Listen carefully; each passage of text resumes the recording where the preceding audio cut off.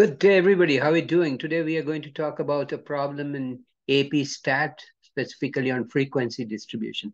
But before I want to get started, I will like to mention that we have all kinds of so problems solved in my channel at You Can Do Math. And I invite you to take a look at my uh, channel and subscribe to it. So I'll share my computer screen with you.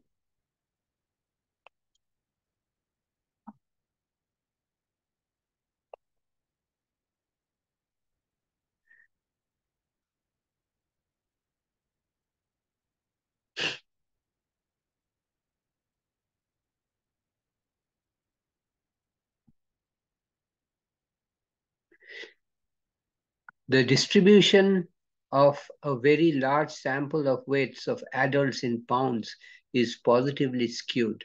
Which of the following must be true about the distribution? There are more adults with heavy weights in the sample. There are more adults with light weights, lighter weights in the sample. The peak of the histogram will be towards the right of the distribution.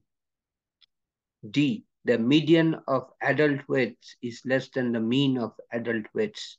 The median of the adult and E, the median of the adult weights is greater than the mean of the adult weights. So this is a positively skewed distribution. That means it has an extended tail on the right-hand side.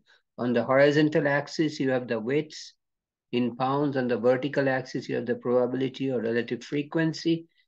And uh, in a positively skewed distribution with an extended tail on the right-hand side, the mean is greater than the median. Hence, the correct answer choice is D, which states that the median of the adult weight is less than the mean of the adult weights.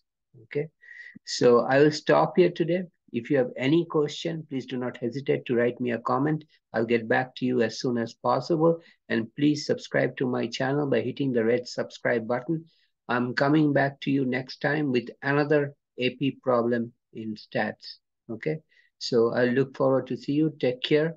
Have a nice day. See you.